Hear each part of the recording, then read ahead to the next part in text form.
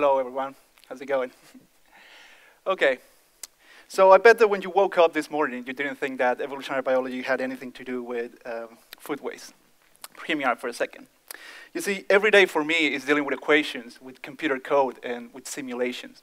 I try to find out why animals behave and are the way they are. Is it because they explore their particular environment? Is it because they go out for food at a particular point in time?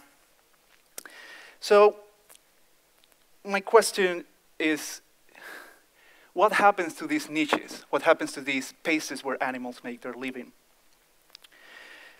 I can tell you that there's countless of species out there to exploit the most marginal and the most intricate niches, imagine, um, niches in, in their environment. And they form these tightly coupled ecosystems where nothing is left to waste. Our society, on the other hand, is not there yet. Food waste is a big issue, and it's a big issue because in order to produce food, you consume energy, water, human resources. So taking all that and chuck it into a bin is, is not cheap. So let's talk some numbers. In the UK, there's around 50 million tons of food surplus that are wasted every single year. That, that number, which is not there for some reason, that number is actually a third of what we as consumers buy. So a third of what you buy at, at your shop is just thrown away from the point of production to storage and consumption. Now, 50% of these 50 million tons is what we call household waste. And this is the sort of waste that, you know, typical scenario where you buy a lot of food and you don't get to eat it at the end of the day, or perhaps you don't like the particular part of the pepper, a particular part of the cucumber, and you just throw it away. The other 50% is the niche I'm interested in, and this is the surplus niche. These are leaks that happen from production to transportation to storage. So imagine that Jamie Oliver this week teaches you how to do pineapple tart. where you caramelize onions, something like that. so yeah, that's quite odd. So shops essentially use this information to, to ship to their stores a particular quantity of, of pineapples for this week. And at the end of the week, there's going to be pineapples left, sometimes. So why is there pineapples left? Doesn't the store want to be super efficient? Well, the reason is that the potential profits that they could make from selling that extra pineapple justifies the risk not to. Where does this surplus end up? Well, some of them ends up in food banks and is transported by food charities that um, give it to catering services. But fruit is really hard to handle, and fresh produce is really hard to handle. And people that use food banks tend to go for more longer lasting alternatives like um, canned foods and pasta and rice. So eventually, all this fruit just trickles down to the landfill. But what if we could extend the lifespan of this food? What if we could add another six months? Remember that at the point this food is considered overstocked, simply, you know, it's, it's in perfect condition but it's just in the right, in the wrong place at the wrong time. But more importantly, it has no time left.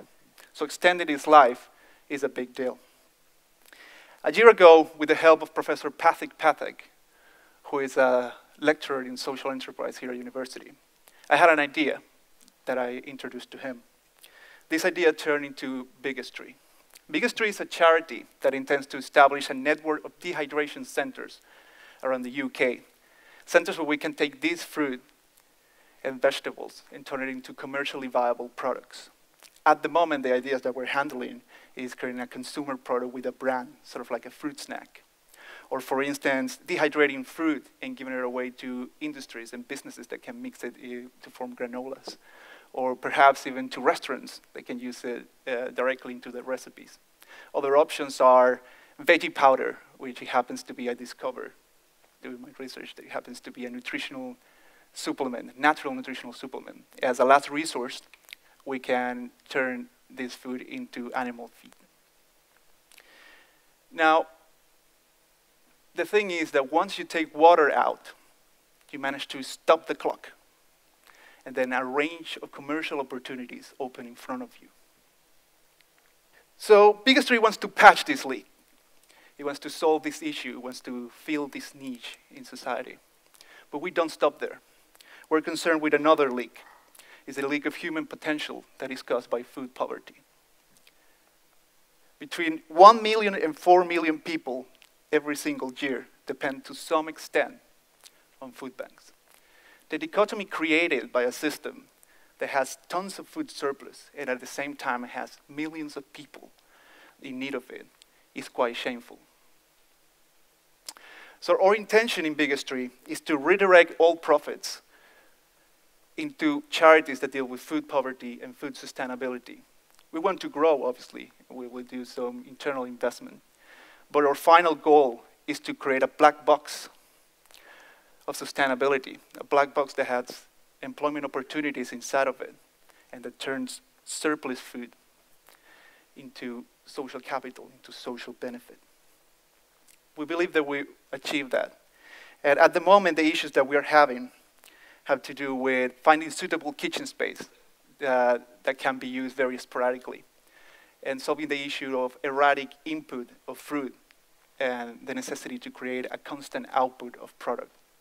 We're solving this issue with the help of some, part, some partners like Pay As You Feel Cafes and FareShare, who is a hub charity that gathers fruit and food surplus and redistributes it around.